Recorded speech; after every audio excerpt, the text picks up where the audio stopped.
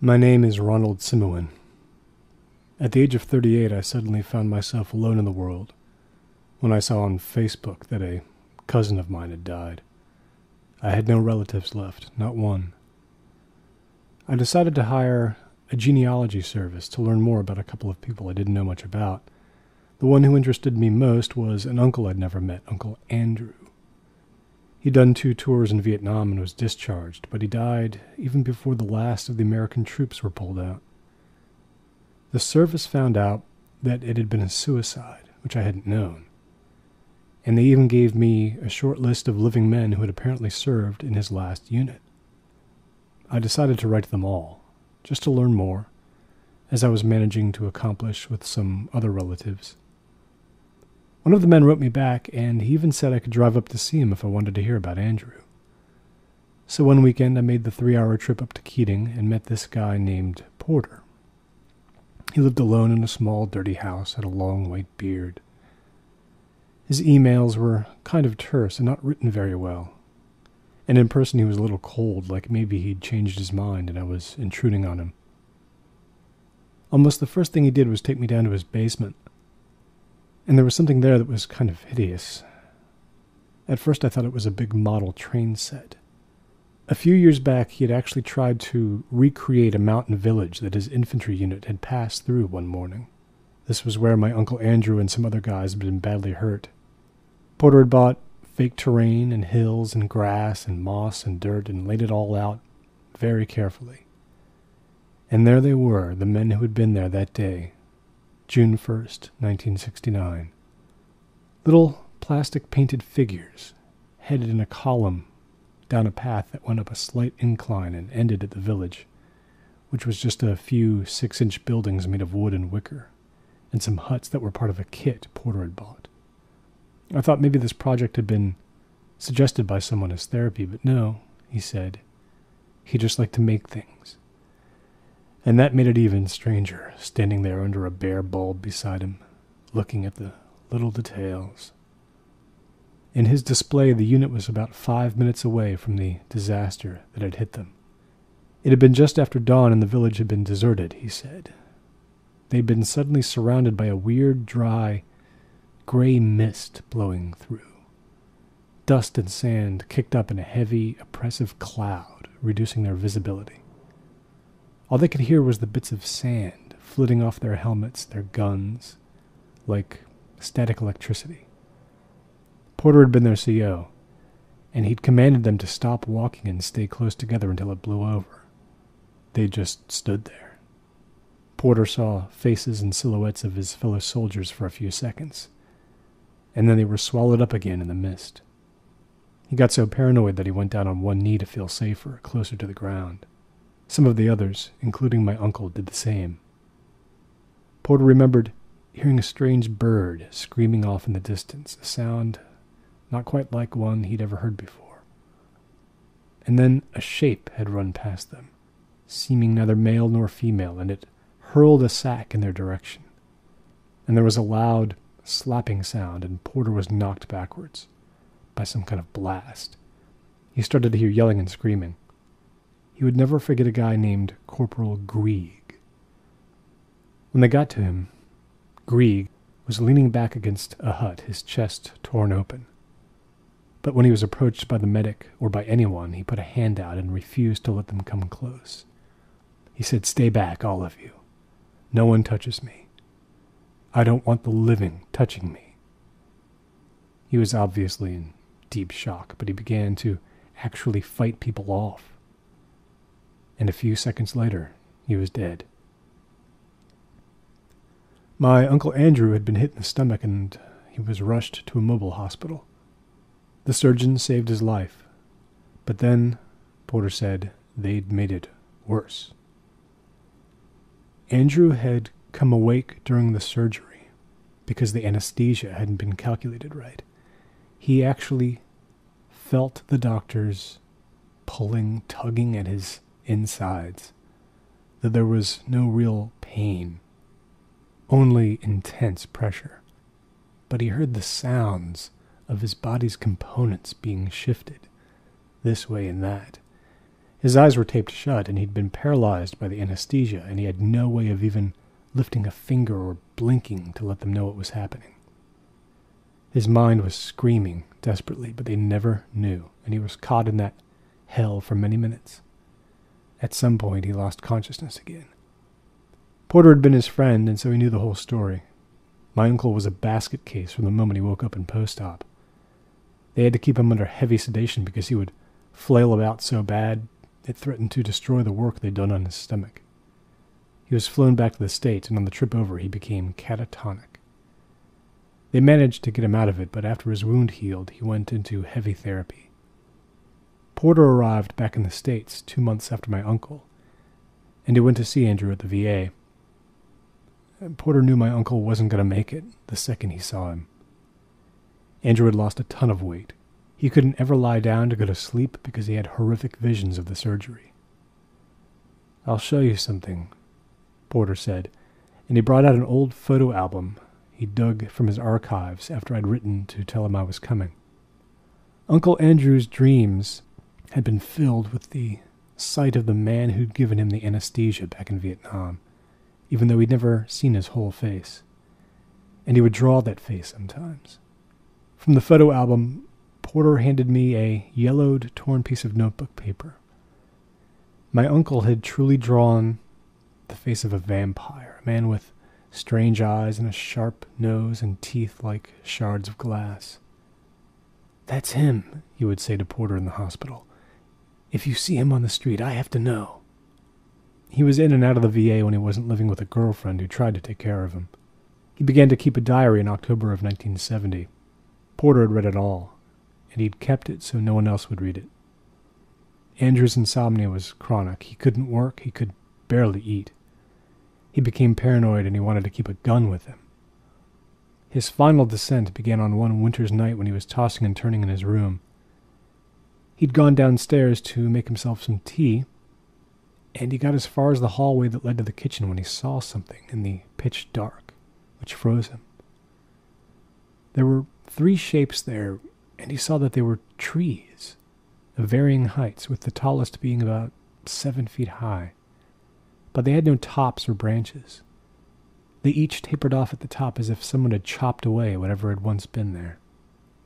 They stood right there in the hallway, silent, almost featureless. Andrew had backed out of the room and gone back to his chair in his bedroom. Porter and I were out in his backyard by the time he told me this part, sitting in folding chairs as the dusk came. I asked him, what did those trees mean? They were the surgeons, Porter said. Andrew had heard three voices when he'd awoken under the anesthetic, voices talking during the progress of the surgery, and Porter was pretty sure those trees were how Andrew perceived them at that point as dark things that wouldn't help him, just hold power over him. The diary entries got more random and fractured as time went on, and then at some point Andrew had killed himself. I asked Porter where and how, but he said he didn't know. He was lying, and I knew it, but I didn't press him. I could get that information easily enough. For two more hours, he told me about some of the better times the two of them had had, but that all just couldn't stay with me as much as what Andrew had experienced there on the operating table, and what it had done to him. I gave the genealogists more money, and it wasn't long before they came up with what I wanted. A notice in the Strawkeller newspaper, dated January 11th, 1971, about a body found in the woods near something called Grocer's Pond. A suicide, a man named Andrew Simowin. A single gunshot to the head. Why there, I wondered. It was close to where he'd been living, but not that close. I've been accused of having an obsessive personality sometimes, and I really needed to know what had happened, just as I felt I needed to know why a distant great aunt had once been tried in Connecticut for corrupting the morals of a minor. So I drove to the little town of Strawkeller, late one cold gray afternoon. I parked my car and I walked a half mile into the woods. The grocer's pond was only twice the size of a baseball diamond, really. I walked all around it, thinking of my uncle. There must have been something about this place that had drawn Andrew. No walking paths were near, and it seemed too close to some houses to be a hunting spot. The pond had no significance in history that I knew about. The water in the pond was black and still, murky. It was only when it was starting to get dark and I was headed back to my car that I saw it, looking to my left. In what could not quite be described as a clearing, just a slight break in the foliage. There were three short trees close together, their branches and tops gone, chopped away. They had been treated with oil and sealant to preserve them against the elements year after year. A small stone plaque had been built into the earth before them. This was a small, almost secret monument, built in the year 1955, to the three victims of a school fire in Strawkeller. This is where Andrew had done it. I felt confident about that. Maybe he'd knelt before them. Whether he had seen this monument before he'd begun to be tormented by its image, or he'd stumbled across it long after, crystallizing his agony perfectly. His diary apparently never said. Those trees were so featureless, so dark, so silent. They were whatever was projected onto them, but more somehow. It was full night when I finally went away from there. There came a Sunday not long ago when I was out kayaking alone near Deacon Falls. I was skirting the edge of some grade 4 rapids, trying to push myself a little, when I realized things were getting way too rough and I slowed myself pretty suddenly. Turning in the kayak, I caught sight of something coming at me out of nowhere from behind another kayak that looked like it had no rower. I yelled out and it struck me, and the force knocked the handle of my paddle back against my forehead hard. I blacked out for a second, but I heard the sound of that kayak hitting mine, sending it sideways. I recovered just in time to keep myself from flipping over into the rapids. The other kayak skewed sideways and was carried on down the river, headed for the falls, and nothing was going to keep it from going over, 200 yards away. I tried to focus on keeping afloat as waves of dark and light alternated and I came close to passing out again. Barely conscious, I managed to steer myself out of the roughest patch and finally make it to the shoreline where I crawled out of the kayak and collapsed, clutching my head, blood all over my hands. Some people were camping very close by and they helped me up into the hospital. I was kept overnight and they had to give me a lot of tests. I responded just well enough to where they couldn't really keep me. I was literally gathering my clothes when two police officers came in to speak to me.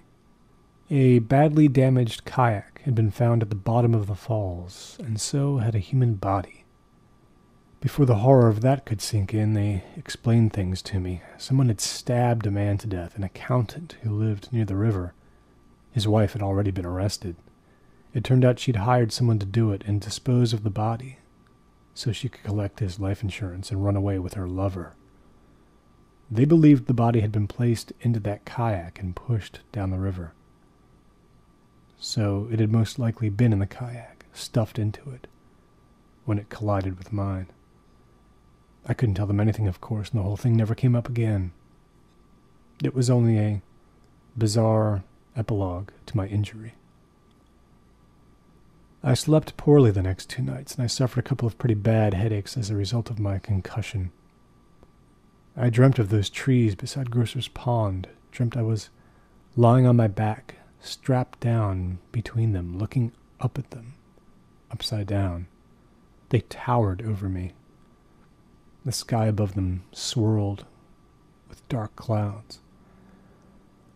After a full week away from work, the headaches seemed to be subsiding, but on the bus going there on Monday morning, the worst one of all came very suddenly.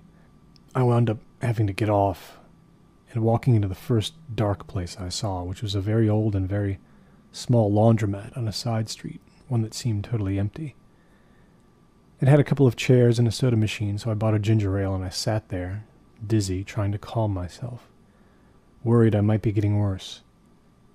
Exactly one machine was active, a dryer, but no one was in sight.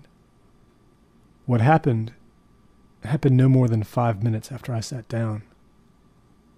The front window looked out on a quiet street, and looking through it, I noticed the wind pick up.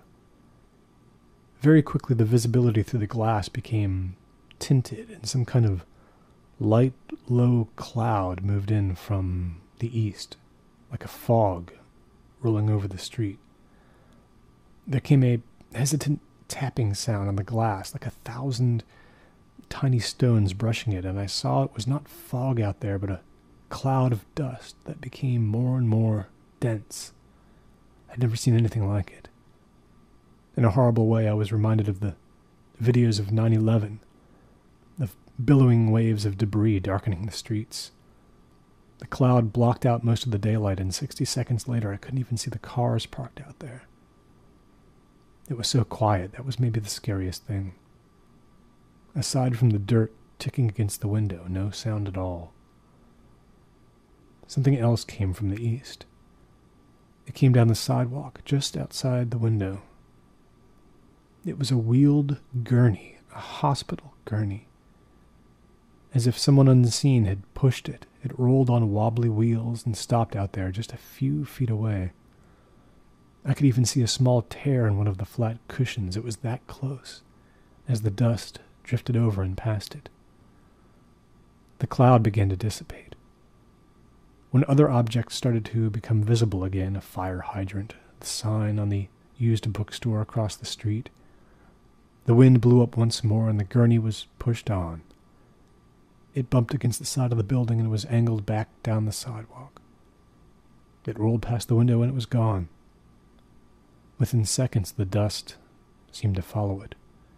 A car passed by. It was just the street again, like before.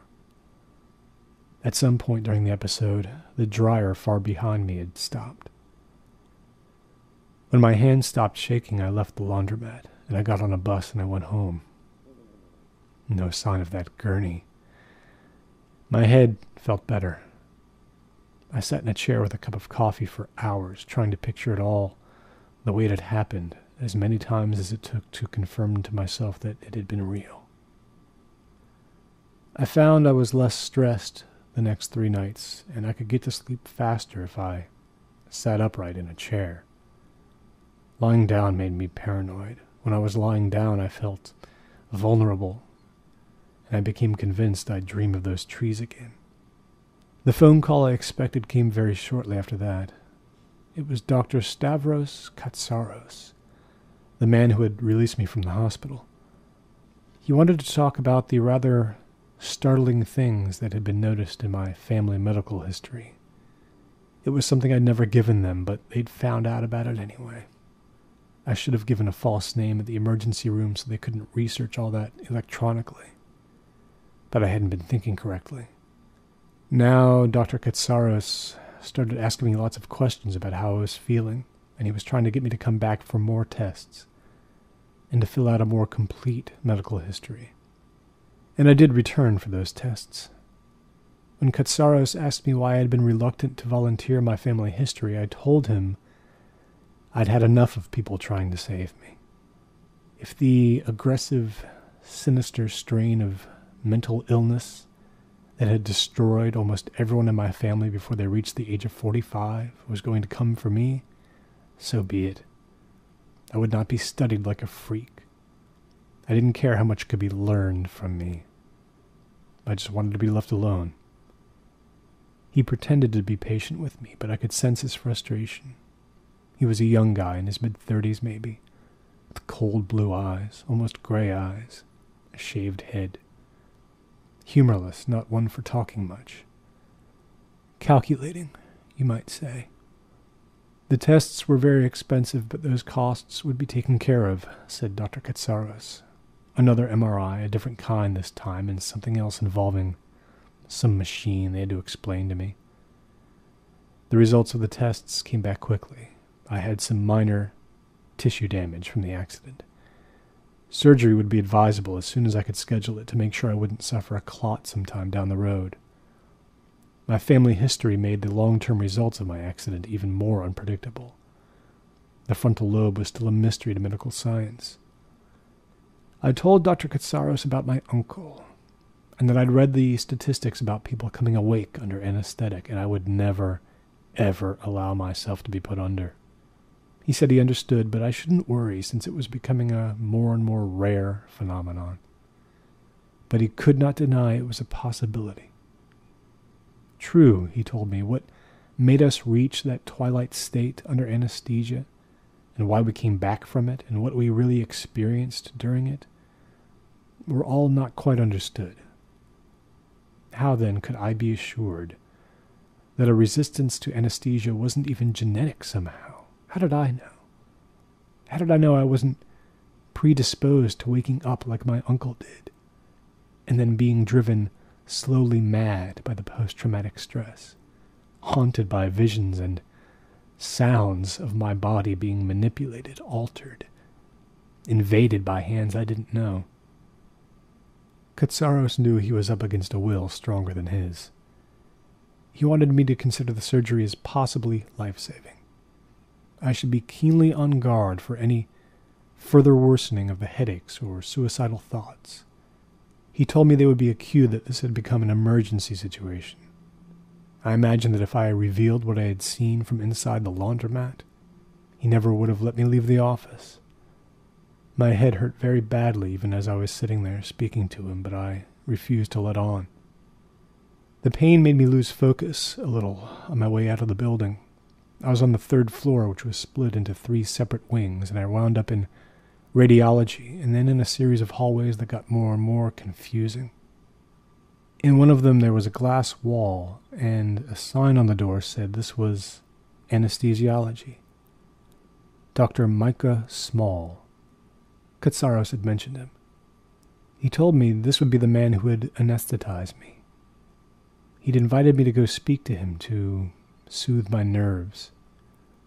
I stopped there for a moment, looking in. The reception area was dark, and the office seemed to be closed, but when I pulled on the door, it was open. I went in.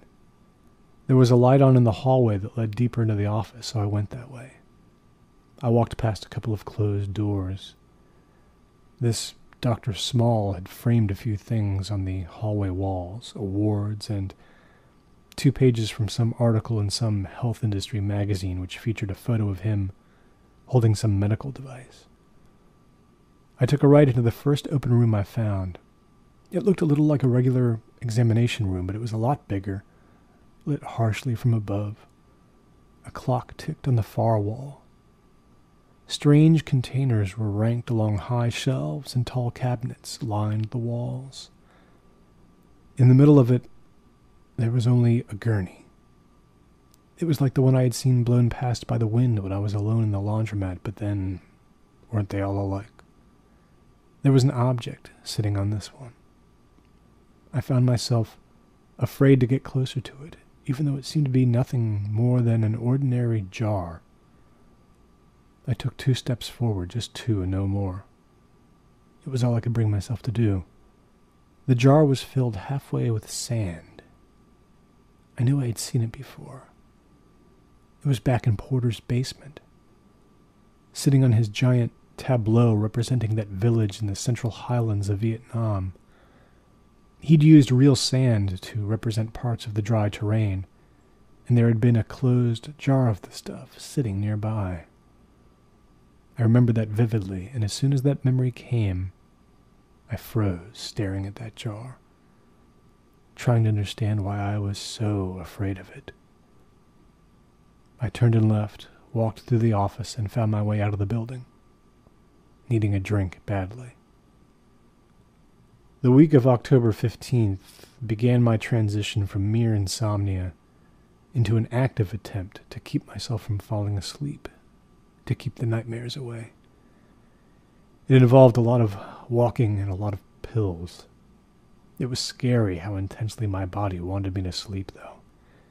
Like something was within me, reaching up from a place in my spine no one had ever seen, reaching up into my throat, into a spot behind my eyes, and pulling me down toward it. No matter the position of my body, no matter the location, eventually I simply passed out. Loud movies and loud music and pacing my freezing apartment were all just weak shields against that thing that knew how to make me sleep. I was afraid that once I would be so tight in its grip that Dr. Small would come to my home and since I was in bed with no way of waking and decide it was time to enter and come and take me to surgery. And then I would come awake just when Katsaros' scalpel was inside my brain. It felt inevitable. I needed no more signs that I was born to play out that script, to wake under anesthesia and be invaded by every sight, sound, and smell that had slowly killed my uncle. So every time I fell asleep was another chance for Small to condemn me to death. I didn't blame him. I blamed fate. On the 27th, I was in the grip of the worst headache yet when I realized my necessary next step. If I absolutely had to sleep, at least I could try to end the constant nightmares. It was one in the morning and I was wide awake. The temperature outside had dipped into the high 20s. I bundled up and I went out. From memory, I found my way in the car back to Strawkeller, even in a state of exhaustion so advanced that I kept seeing nonsensical words on the highway signs. I got every turn correct. I bounced up and down sometimes in the car seat to get my blood moving and keep my eyes open.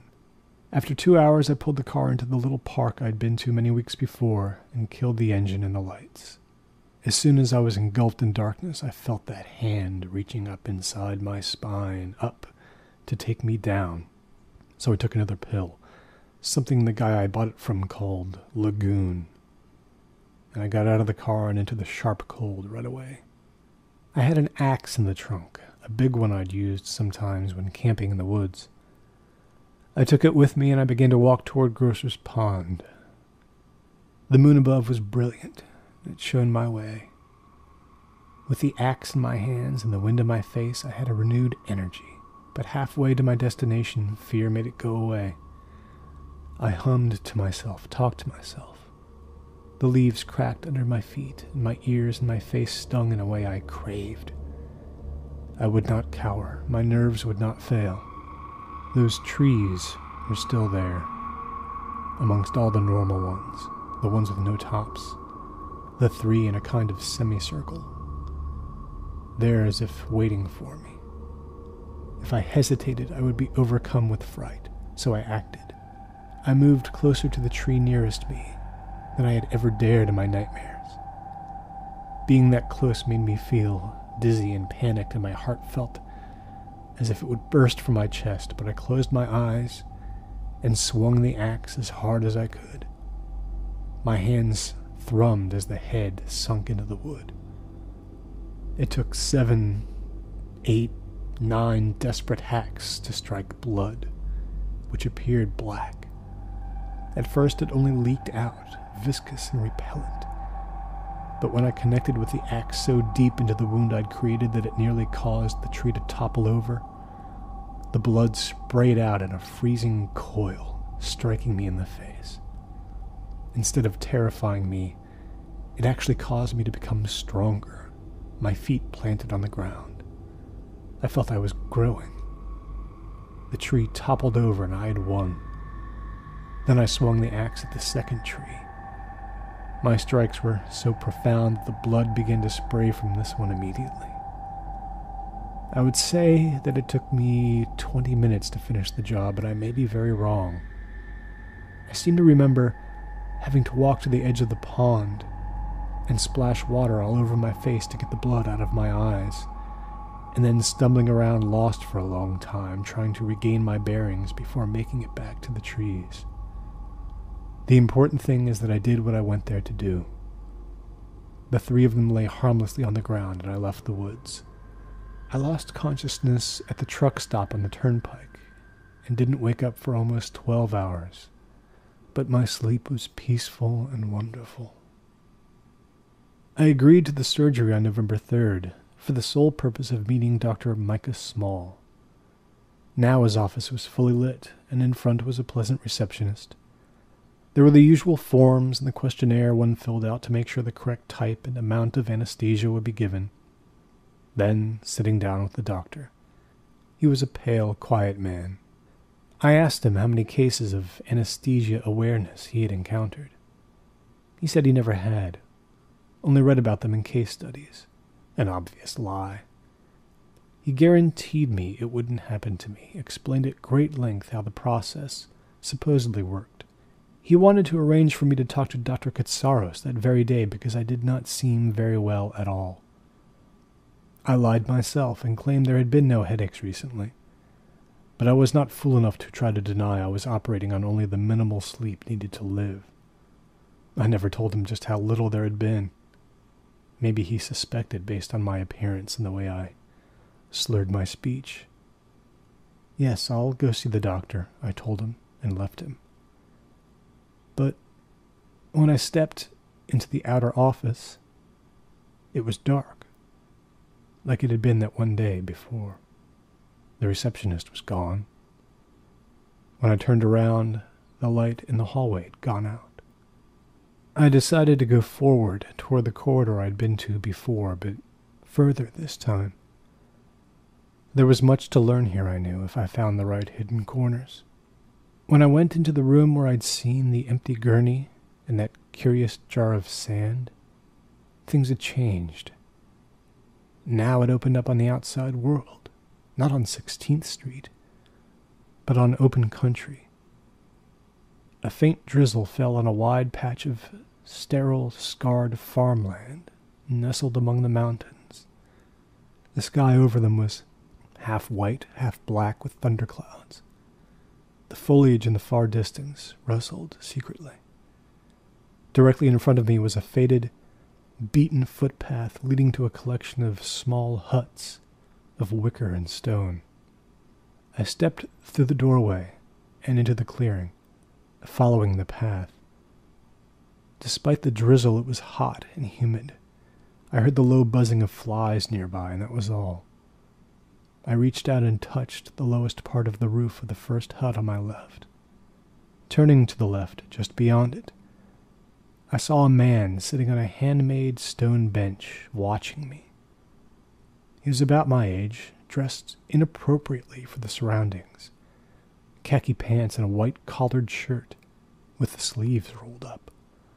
Before him on the ground was a soldier, lying face down. The grunt's hands were a ghastly white, as if he'd been dead for some time. His combat helmet was half on, half off his head. I asked the man on the bench who he was, and he told me his name was Grant Grayson, but he said that didn't matter. He had information for me. I had been wrong in trying not to sleep. I needed to do more to avoid the fate of waking up under the anesthesia. I told Grant Grayson I'd do anything. He said I had to take their power away from them, the power of these men who wanted to put me under. Take away their power and I'd be safe. Yes, that made perfect sense to me. And if I failed? Grayson laughed, a cruel, mocking laugh. Well, then, I would belong to the Midoth. I didn't know that word. Could he show me what that meant? Grayson rose off the bench. Come with me, he said. I'll show you the Midoth. What do you think it is that reaches up into your throat to pull you down to the place where the doctors can get you? He took hold of my arm near my elbow and he walked me toward one of the huts. But now I didn't want to go. I didn't want to see this awful thing. But he didn't let me go. When I tried to get away from him, he smiled and gripped me harder. Now I remembered that Grayson was the name of the man who had been killed and sent down the Round Top River to the falls and over them. I started to scream, but it seemed like we were alone in the village, utterly alone. The door of the hut he was taking me to was ajar. He pushed me in and he followed right behind. Someone was inside waiting for me. A person dressed in a blue surgical gown and mask. I recognized him instantly from photographs. Uncle Andrew, almost like we were on a game show. He unfurled his hand like a showman to display something on a gurney beside him a jar half filled with sand. As I looked at it, the sand inside began to shift just a little.